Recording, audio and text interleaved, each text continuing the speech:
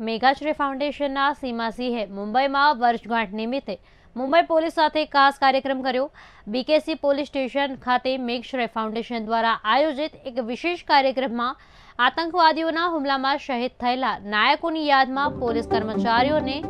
શિયાળાથી સુરક્ષિત રહેવા માટે વિન્ટર જેકેટનું પણ વિતરણ કરવામાં આવ્યું. આ પ્રસંગે વરિષ્ઠ પોલીસ અધિકારી Pradeep More, Saripat Kale DCP zone eight Dikshit Gedam, Vivek Mumbai police commissioner હાજર રહ્યા હતા આ પ્રસંગે મુંબઈ પર થયેલા હુમલામાં આતંકવાદીઓ સામે લડનારા શહીદોને પણ યાદ કરાયા હતા મુંબઈ શહેરમાં કોઈ પણ તહેવાર સુરક્ષિત રીતે ઉજવી શકાય તે માટે મુંબઈ પોલીસનો આભાર માન્યો હતો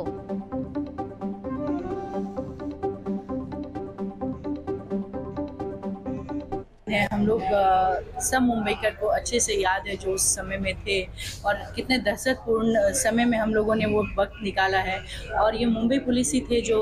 हम लोगों के लिए शहीद हुए और हम लोगों को वापस एक सुरक्षित जीवन दिया है। तो आज उन सब शहीदों को मैं याद करते हुए मैं भावपूर्ण श्रद्धांजलि उन्हें देने यहाँ आई हूँ और मैं अपने एनजीओ के द्वारा उनको आज एक जैकेट दी हूँ और ये जस्ट मेरा एक श्रद्धांजलि देने का यहाँ मुंबई पुलिस का जैसा मैं पहले भी बोल चुकी हूँ कि मुंबई पुलिस के लिए मेरे दिल में बहुत रिस्पेक्ट है उनके लिए। क्योंकि मैं इस फ़ील्ड में हूँ, मैं कोरोना के टाइम से काम करती हूँ। उस समय भी जब ये लोग अपने बारे में ना सोचते हुए पूरे दिन रात एक करके उस समय भी सब लोगों के लिए थे, तब से मेरे दिल में उनके लिए और बहुत जब भी समय पड़ा है, जब भी ज़रूरत पड़ा है, वो लोग हमारी सुरक्षा के लिए दिन रात एक करके